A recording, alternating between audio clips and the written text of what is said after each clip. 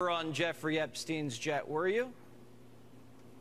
Uh, I was on Jeffrey Epstein's jet two times. I was on it uh, in 1993, and I was on it in, and I went to Florida with my wife and uh, two children to visit my mom over Easter. Um, my my wife had some kind of relationship with Ghislaine Maxwell, and they offered us a ride to Palm Beach. So I went then, and then on another occasion, I flew again with my family, with I think four of my children, and um, and uh, and Mary, my wife, to Rapid City, South Dakota, to go fossil hunting I, uh, for a weekend, and. Uh, but other, otherwise, I was I was never on his jet alone. I you know I've been very open about this from the beginning. This was in '93, so it was 30 years ago. It was before anybody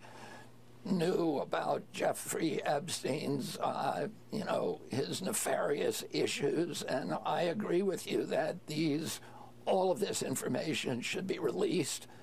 Um, and we, we should get real answers on what happened to Jeffrey Epstein